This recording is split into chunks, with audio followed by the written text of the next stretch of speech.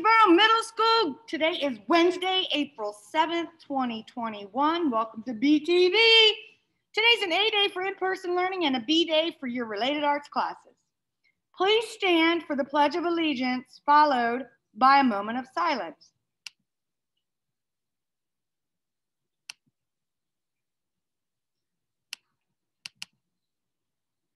I pledge allegiance to the flag of the United States of America and to the republic for which it stands, one nation under God, indivisible, with liberty and justice for all.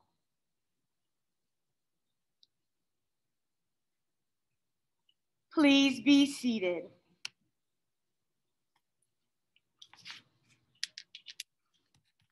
Today's weather is a high of 70, no, a high of 77 and a low of 52. Today's lunch is mashed potato bowl or chicken patty sandwich with carrotinis and apple slices.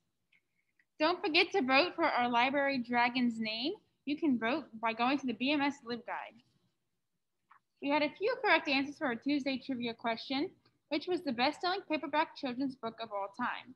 Because the answer depends on which company of, or source is conducting the survey, if you Googled it, you probably came back with the list from Amazon of their bestsellers.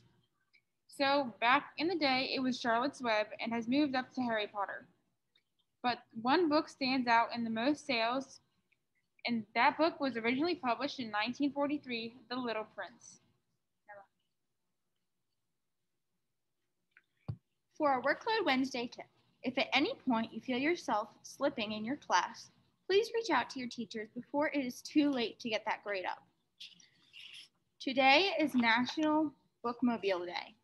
National Bookmobile Day in April recognizes the mobile access to information and resources our nation's bookmobiles make available to our communities. The day also honors the professionals who diligently work to provide these services for more than 100 years, bookmobiles have been bringing library access to those who might otherwise go without them. Maylee? Happy birthday today to Dallas C., Carolee M., Noah C., and Doran P. Our motivational quote for you today is Things may come to those who wait, but only the things left by those who hustle. Abraham Lincoln. Ellie? This is all for BTV today. Have a wonderful Wednesday. We will see you back here tomorrow.